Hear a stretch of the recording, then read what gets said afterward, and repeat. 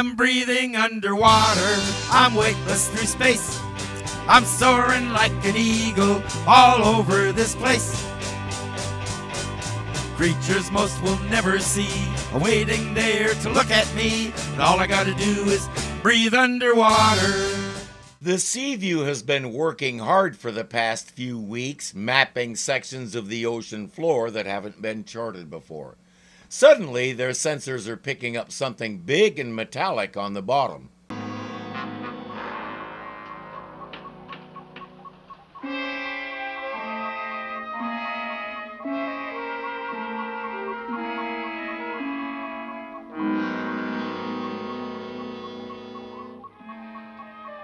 It's a sub, all right.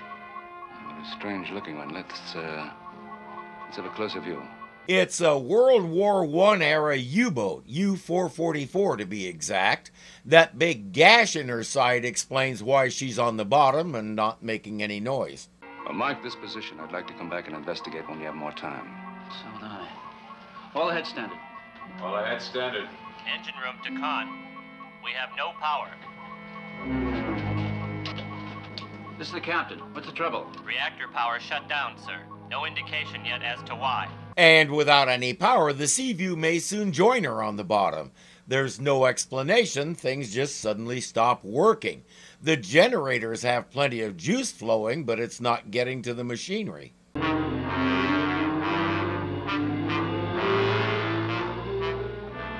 Strong bottom currents are doing it. It, uh, it must be that. It's coming right up in front of us and we can't move.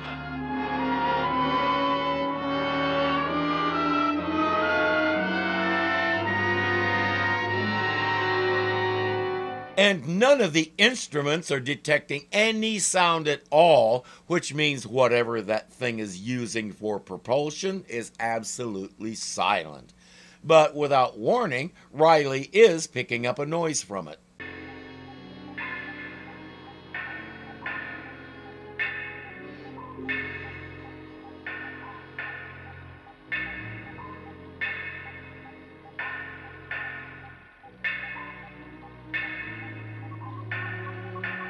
That's a looped recording if I ever heard one. It's supposed to sound like survivors asking for help, but it's too regular. If an actual person was doing that, it would either be a lot more erratic or they'd be tapping out SOS. Speaking of which, you know what SOS stands for? Nothing. It was chosen as the international distress signal because three short, three long, three short is so easy anybody can remember it and nobody can mistake it for anything else. Sorry the answer is so boring, but there it is. What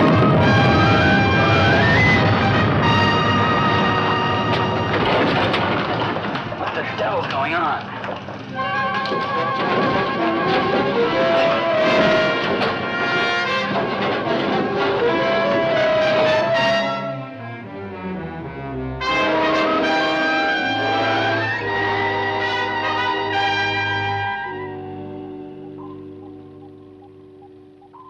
Sub's gone. It's not back on the bottom, it's nowhere, and everything is working again. I'm looking around for David Copperfield because whoever is doing this is a master illusionist. No visual contact, no instrument contact. That thing out there just vanished. Any ideas? Just one. Let's get out of here. Your average master illusionist tends to come with a pretty high price tag. Let's be somewhere else before they send us the bill. Admiral Nelson has been asking Washington some questions. U 444 is a German submarine, first commissioned in July 1916. Mm, any report on when it was sunk? It attacked an Allied convoy in September 1918. Was sent to the bottom by a Canadian subchaser. Canadian. What was it doing in the Central Pacific area? That didn't happen in the Central Pacific. It happened in the North Atlantic. That's a good 5,000 air miles from where we found her. More than 30,000 sea miles. When the sub started moving, Nelson blamed strong bottom currents. If the currents can do that, the Seaview should think about staying out of them. But this day is going to get weirder. There's some debris on the surface and there's a man hanging onto it. here in the middle of nowhere. No ships have been in the area for days. They bring the man aboard. He's in good shape, just wet.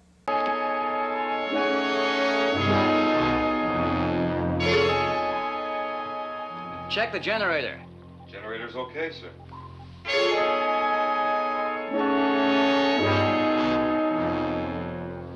Good evening, gentlemen. I request permission to come below.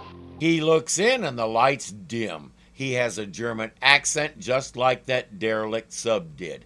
And we know he's a bad guy because Alfred Ryder is playing him. I believe God created that face especially so he could play villains. He started acting professionally at the age of eight and kept doing it until the Grim Reaper caught up with him in 1995. He's best known for his character acting on television, but he was a major figure on Broadway both as an actor and as a director. He did several movies and was pretty much an all around Renaissance man when it came to the performing arts.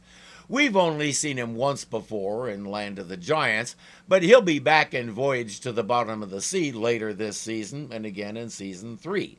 As I've said before, the actors Irwin liked, he liked a lot. And there's nothing not to like about this guy. Even though I have some serious issues with the episode, he's genuinely scary. I'm Captain Gerhard Kruger of the SS Edelweiss out of Hamburg. My thanks for the rescue. Are there other men out there? None, Captain. Okay, he's the captain of a ship called the Edelweiss that sank not long ago. What happened? Those are the facts, gentlemen. My vessel was rammed by a submarine. A World War I U-boat. Oh, there's uh, no such craft in commission. That is true, but I am convinced that this was a ghost ship, a Flying Dutchman. Stories of ghost ships abounded during the colonial age, and the Flying Dutchman was, and more properly is, the most famous. The tale varies from time to time and place to place, but the most consistent parts say the ship was trying to make port in bad weather and couldn't, and somehow that meant she could never make port and was doomed to wander the oceans forever. That's why she appears during bad storms. She's still fighting the elements trying to finish her journey. But how does your basic U boat become a Flying Dutchman? They set Kruger up in a cabin so he can rest, but given the classified nature of so much of the boat, he'll have an escort, which is to say, a guard. Right now, it's Kowalski's turn.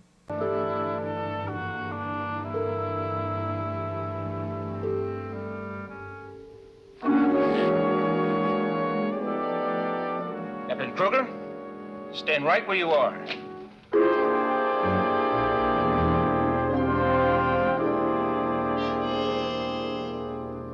Did you call me? It's pretty clear who our master illusionist is. Kowalski won't tell anybody about this, even after things start getting weirder. I'm convinced the man's insane. I wouldn't go that far, Lee. Then how do you explain this wild story and this report from Hamburg? There's no such ship called the SS Edelweiss, and there never was. The whole thing's an elaborate lie.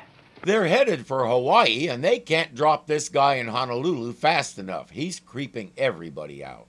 Oh, you should have checked these figures. I did, sir. Either the computer's blown its cork or I have. My money's on the computer. Everything all right, Chip? Oh, everything's great if you like the South Seas.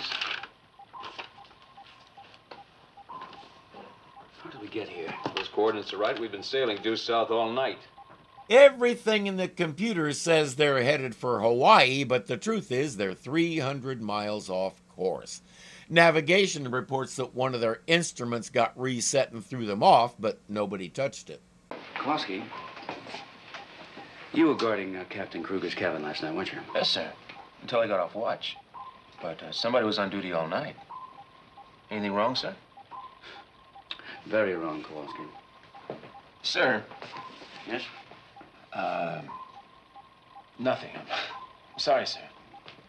Tell him, Kowalski. He doesn't want to sound as crazy as Kruger. It's a mistake. Admiral, do you know who I am? I know who you told us you are. Do you know who I am, Admiral? I don't have time to play games. If uh... This is not a game, and you know it is not. What if I were to tell you that I am what you suspect me to be? A suspicion you would not dare verbalize for fear of being ridiculed by your men. What does Nelson suspect? He'll never come right out and say. But Kruger is the one doing all these strange things to the boat. I think you're talking in uh, circles. Now, if you'll excuse me, I. Now who is playing games, Admiral? I willed you to know who I am last night. Now you must believe it.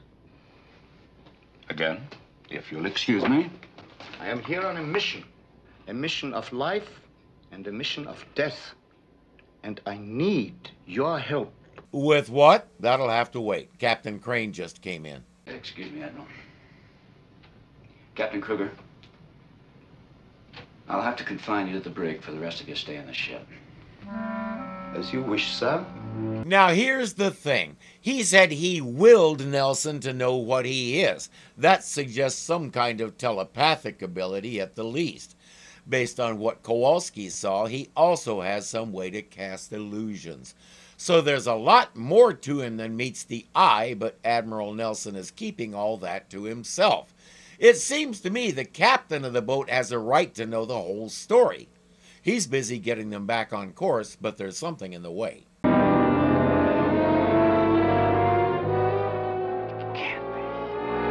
You give me couldn't be, he give me is. Something supernatural is going on here, and it revolves around Kruger and that sub. Right now, they should be glad U 444 doesn't have any torpedoes left. I've never seen a ship that looked more like a derelict. But, uh, those noises from inside now. How do you explain that? A remote controlled electronic device. Somebody's got a way of controlling that sub, and they're hanging right on our tail. Why? Why? Why? For one thing, the crew is starting to freak out. Captain Crane thinks that's a good reason. And unless they have detection devices better than anything we know about, they have to be getting their information from right here aboard this ship. Kruger. Well, do you have a better explanation? Frankly? No. Let's look at it this way. If you had been wandering the ocean for 60 years in that, taking over the Seaview might look rather appealing, don't you think? There's a big whoosh, a bunch of bubbles, and the sub is gone again. No talking to the prisoner. Sorry, Chief.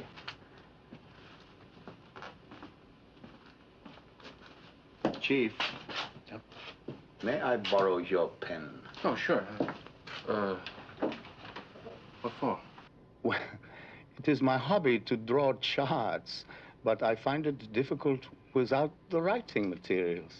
Why do I get the feeling giving a pen to this guy is like giving one to Hannibal Lecter? Your pen, please. Uh, I'm sorry, I can't give you anything without the permission of the captain. Thank you.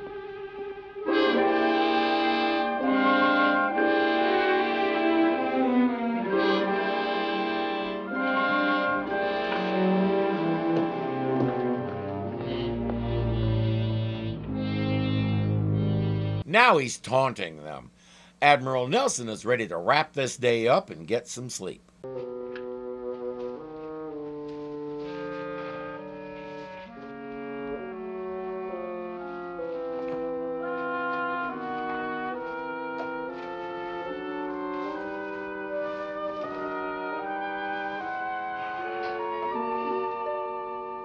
Admiral Nelson.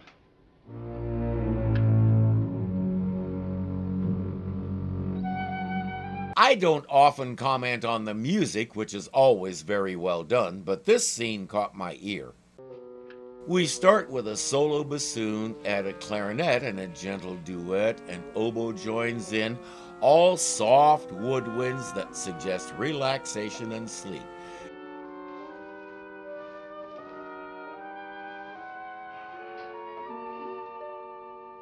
Admiral Nelson. And then the low strings come in with an ominous line.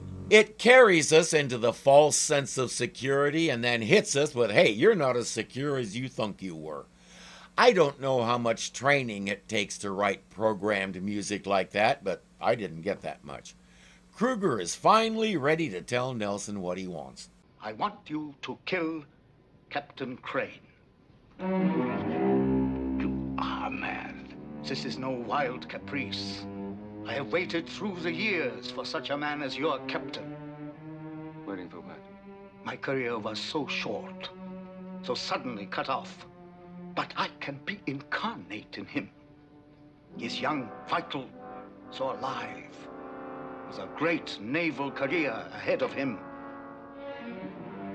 You want to take over his body? Exactly.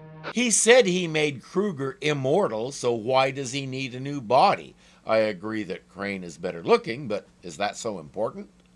Well, you seem to be able to get around pretty well, Kruger. I don't see why you don't do the job yourself. It is impossible for me to take the life of the body I want to possess. So I come to you, a man who can understand this unique problem. I'm afraid that you overestimate my understanding. I doubt that very much, Admiral. He says, You can kill Captain Crane for me, or I can destroy your sub and kill everyone aboard, including you. Your choice. Your position is here. Am I right? You know it is. You altered our course. I told you I would give you time to accept me. The deed must be done before the submarine crosses north of the 16th parallel. Cross that line before you have killed your captain. And it is the end of the submarine and all aboard her. That means giving up on Crane's body because he said he can't kill the body he wants to inhabit. If Nelson thought of that, he might have a little leverage, but he didn't thought of it. Admiral. I've had it with Kruger. So is the crew. I want him off the ship now. We're a good seven hours from Hawaii. I'm afraid you'll have to wait. The flying sub could have him at Hickam Field in an hour. You're that desperate to get him off the ship? Aren't you? I say the quicker we get him off the ship, the better. All right. I don't know if you're doing the right thing, but uh, have it your own way. Chip, have a flying sub made ready for immediate launch. Nelson will go tell Kruger the news. Open the cell door, please.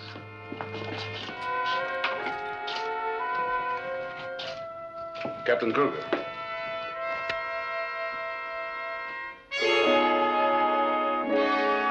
Or not.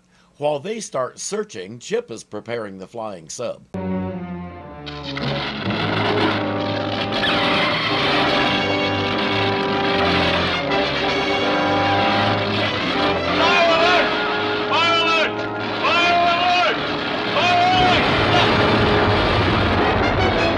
Or not. He'll be okay, but the flying sub isn't going anywhere. Sharkey examines the damage and says it was sabotage. If Kruger went locked in the brig, I'd think it was him. He isn't. He isn't what? He isn't locked in the brig. He explains. Now Captain Crane isn't just furious, he's looking around for a yardarm to hang Kruger from.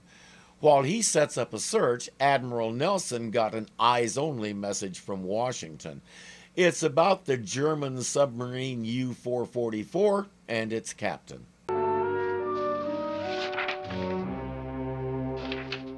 I managed to monkey with the letter enough to read it, so you don't have to worry about whether you need to. It just says here's the info you requested. And that photo is Kruger in a World War I naval uniform. Admiral. So you refused to listen, I listened, Kruger. and you ignored my warning. Or perhaps you did not believe that I was serious. The explosion in your flying sub should have proven otherwise. I am very serious. I want Captain Crane dead. Why do you think that anything would make me kill Lee Crane? The death of one man to save the lives of a hundred others is an extraordinary bargain. If that's a bargain, I'll go to the store down the street and pay full price. Kruger is preaching a philosophy known as utilitarianism, which says the greatest good is that which provides the greatest happiness for the greatest number of people. In the second Star Trek movie, Spock set out the same philosophy when he said the needs of the many outweigh the needs of the few or the one. It sounds good on the surface until you get into a scenario like this. No matter what Nelson does, the only one who's likely to come out happy is Kruger, so that isn't serving the needs of the many. If he does kill Crane so Kruger can take over his body, Nelson will never be happy again, and the crew will hate him, which means they're not happy. Again, the only one who comes out ahead is Kruger. Stuff like this is why utilitarianism doesn't work. If we're having a pizza party and little Murgatroyd over here doesn't like pizza, so he has to figure out something else, then the principle of what makes the most people happy works. In a situation any more complicated than that, not so much. Captain Crane is not only a fine officer. Very close, close friend. That is unfortunate, Admiral. Perhaps you are doing your friend an injustice not to kill him. I can give his body immortality. But he won't be in there to enjoy it. You will. Admiral Nelson likes Lee Crane. He doesn't like you. Admiral, we've gone through.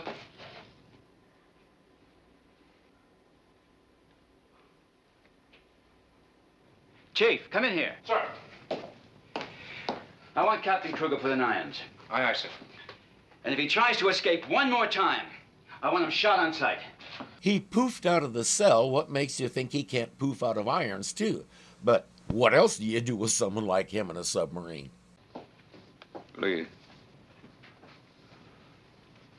How long before we cross the 16th parallel? Well, I'd say uh, three or four hours. I'm going to the control room. I'll find out. Yes. Let's do that. Lee?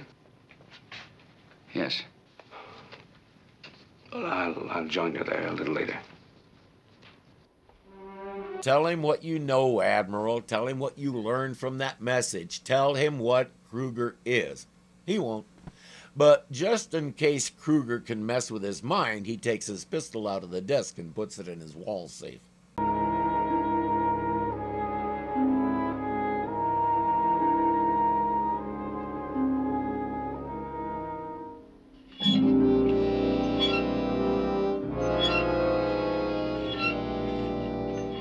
Told you. But again, what else is Captain Crane supposed to do with him? They don't have the supplies to make a circle of salt.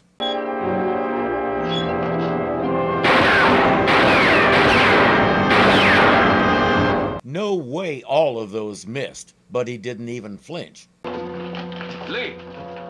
What's going on? He's loose again. He broke out of the irons and he escaped. Stay away from that man. Why should I? I'm asking you to. Isn't that enough? Why are you trying to protect Kruger?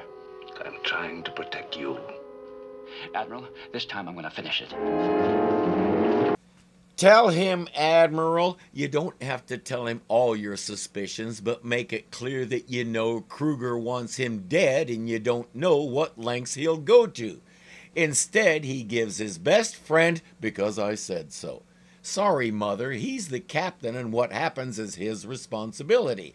So, in the absence of anything more lame, he'll keep doing what he's doing. Halt! Make a move and you're dead.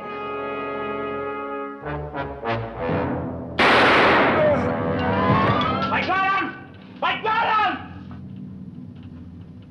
You got him, but you didn't get him. That sends Kowalski over the edge. Let's let Del Monroe show off a little. Kruger! Kruger!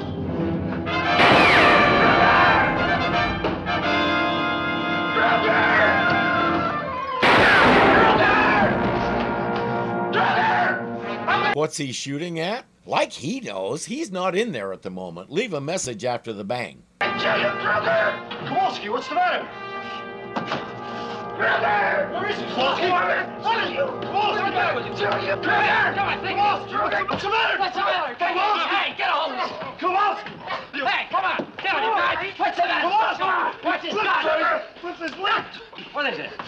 He's flipped his lid, sir. You're, you're Kruger. Turn out! Kowalski, now wait a... Stop out of it! Ah, come on, come on, Kowalski. Take him to sick bay. Convincing enough for you? And it's even more powerful because Kowalski is just about the last guy I'd expect to lose it like that. This is what Kruger is doing to the crew.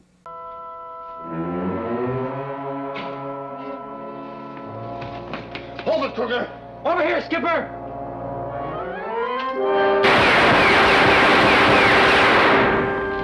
We got him, Skipper.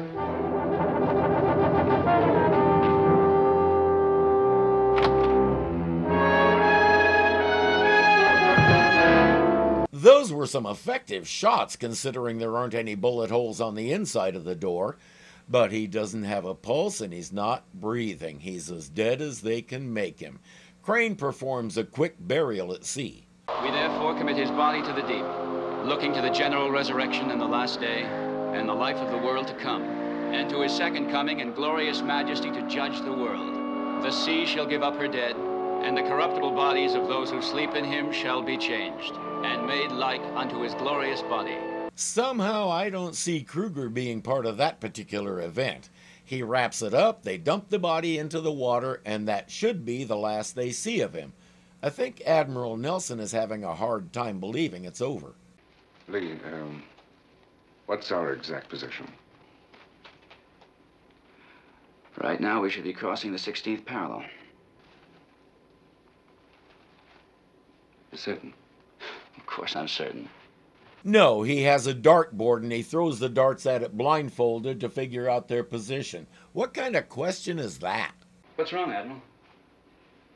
Ever since Kruger came aboard, you. You've acted. Just leave, leave, leave it alone, eh? Lee.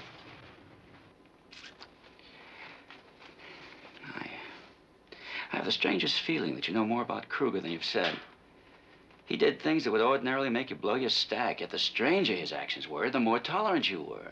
Why? I said leave it alone, Lee. He told Kruger that Lee is his close friend, so why is he doing this to him? He's being unfair not just to his friend, but to the skipper of the vessel. Crane needs to know everything so he can make decisions accordingly, but Nelson is hamstringing him. Well, it's all academic now, anyway. He won't bother us again.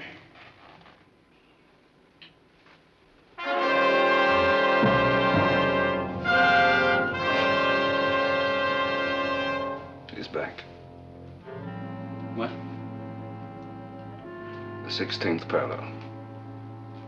You're certain we're crossing it now. I told you we're crossing it now. What's the matter with you? Tell him the whole story, Nelson.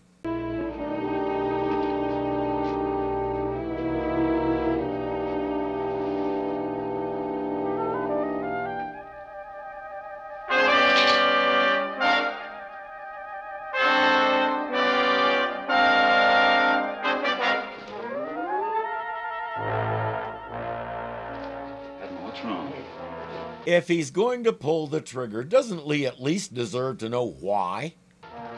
What happened? You know, you know something about Kruger, don't you? There's something you're not telling me. Now, what is it? I'm sorry, but this is so out of character for Admiral Nelson, I can't hold back anymore. This is not the Harriman Nelson we know, and this is not the friend of Lee Crane that we know.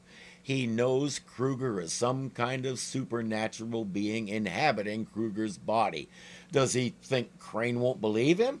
They've already met aliens as well as a guy from a pre Homo sapiens civilization. They've seen a giant octopus, squid, jellyfish, and catfish. They've seen Fluffy. Why would he not believe this? I wonder if Kruger is supposed to be trying to take over his mind or something, but we won't get any explanation at all. Tell me what happened! Tell me what's happened. Tell me! If I'm Captain Crane, I go grab that gun, shove it in Nelson's face, and say, Now you can tell me everything, or we can call you One Nostril Harry for the rest of your life. What's it going to be? Later, they're running on the surface in a thick fog.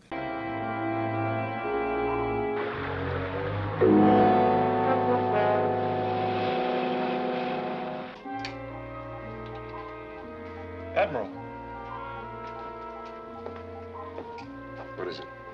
blips on radar screen. I've never seen this kind before. It's a large object on the surface. Range? Range 1,500 yards. On an intersecting course. Notify Captain Crane on the bridge. Crane is up on the sail doing lookout. They have an infrared searchlight for looking through the fog. The pattern they're seeing on sonar says the other boat is trying to ram them.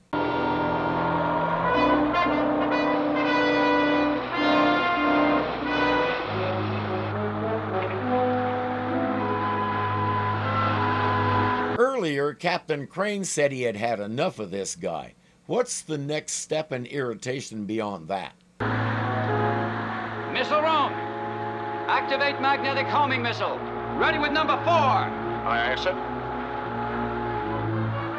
Bearing zero two zero. Range 500 yards. Stand by. Aye, aye, sir. As soon as everything is ready, he says, fire.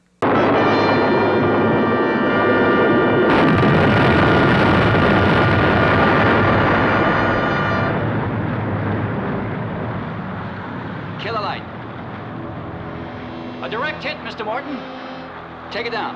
Aye, sir. It's going back to the bottom in even worse shape than when they found it. What about its captain?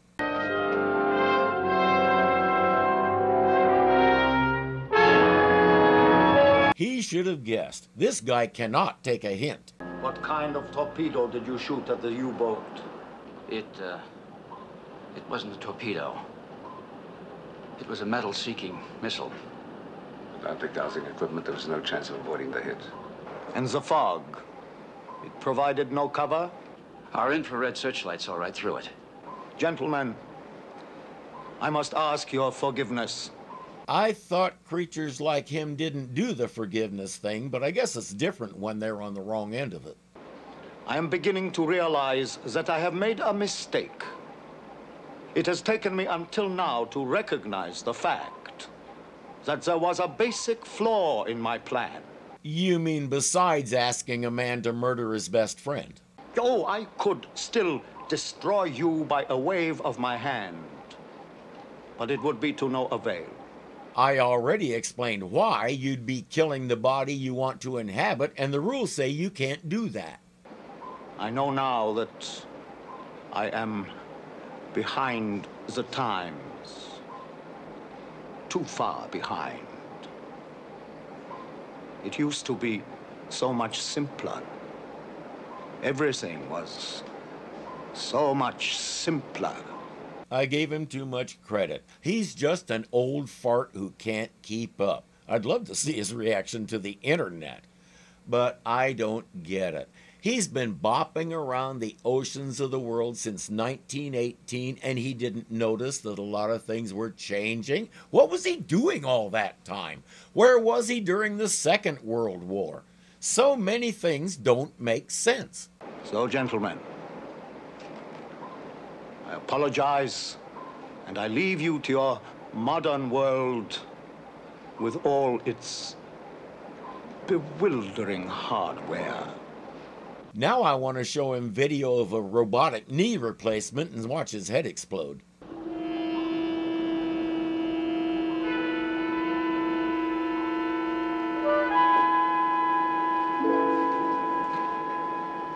I wonder where it will take you.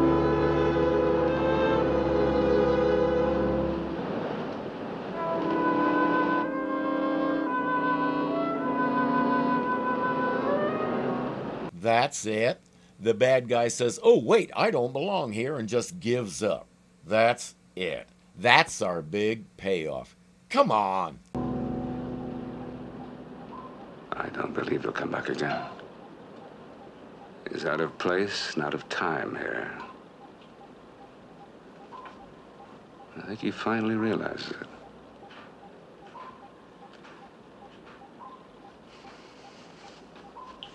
All right, man your stations. Full speed ahead. And Nelson never does tell Crane what that guy was. What was he? A ghost? A demon? A guy with a 60 year grudge about being sunk? This was a bad episode.